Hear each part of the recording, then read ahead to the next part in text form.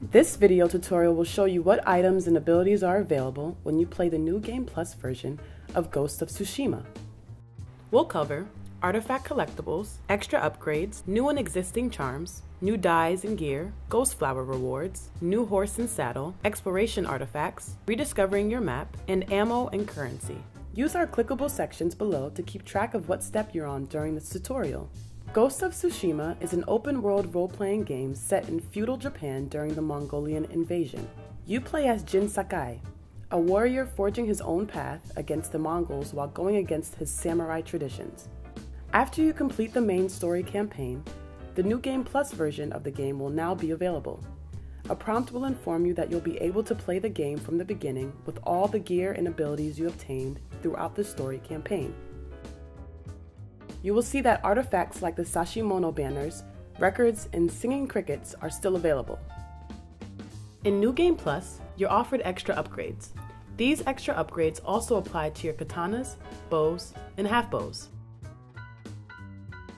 When looking through your weapons, you'll notice all the slots are empty. Don't panic. All the charms you've acquired have been unequipped.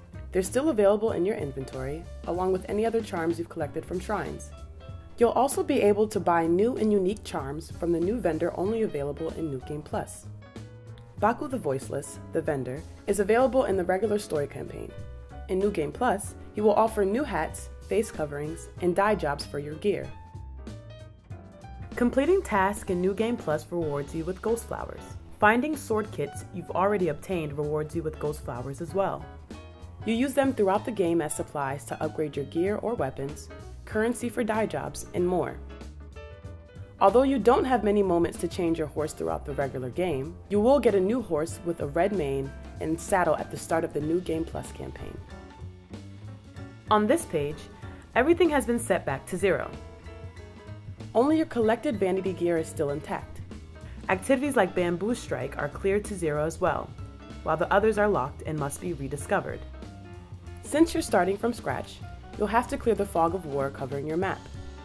That means you'll have to rediscover fast travel points to clear out the map quicker. Tools and techniques transfer into New Game Plus. What is missing is supplies that help you upgrade your tools, ammunition for your bow, and throwing weapons. You'll have to explore in order to stock up on whatever you may need to create tools for use in battle or to buy items.